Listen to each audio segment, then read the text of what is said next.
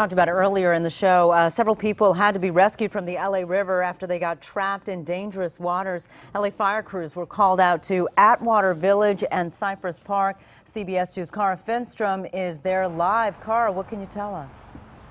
Well, we're on top of the Fletcher Bridge, which runs over the LA River. It became overwhelmed today. LA City fire officials say they were expecting a quarter inch of rain over the course of the day. They got that in about an hour. LA firefighters had to battle constant rain and raging water to get to the three people trapped in LA River in Cypress Park. Sky 2 was overhead as one man and a dog were yanked across the water to safety. Then a more difficult operation. One firefighter scaled the massive ladder, which was used more like a crane, and dropped rescue equipment to get everyone into position. Finally, a second man was pulled to safety and checked out by paramedics standing by.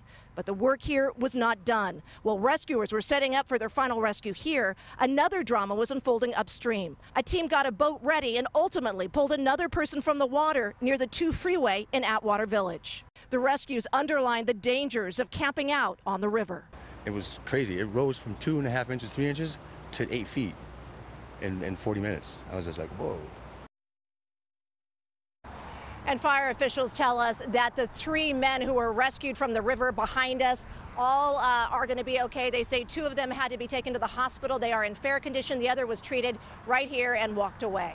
Reporting live here from Cypress Park, Kara Finnstrom, CBS 2 News.